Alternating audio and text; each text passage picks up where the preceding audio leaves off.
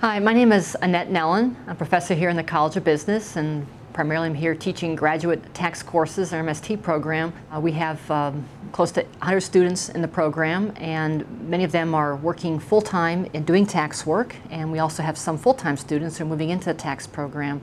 And some, some of my goals for the program so they keep it at the highest quality possible um, making sure our programs are, are, current, our courses are current, um, students are you know, getting the skills and the knowledge they need to be effective uh, tax professionals.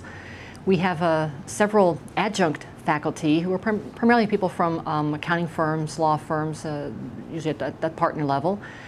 Something new in the program is uh, making a couple of courses online just to give our students a little bit more flexibility in how they complete the program. The first course that we actually have online is a course I teach on tax policy and tax reform. And this is completely online, there's not any face-to-face, -face, and the students really can do that at their own pace. Uh, next course we'll be putting online is the um, advanced individual tax. And again, students will have a little more flexibility on when these electives are available. But for the most part, our program is designed to be and will continue to be a face-to-face -face program with classroom experience.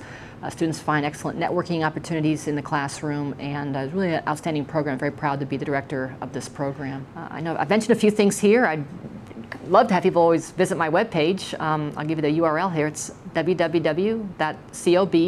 www.cob.sjsu.edu slash Nellen underscore A, N-E-L-L-E-N underscore A, and you can find information about the MST program, the Educated Person Dialogue, the reading program, and uh, please you know, visit my 21st Century uh, Taxation website.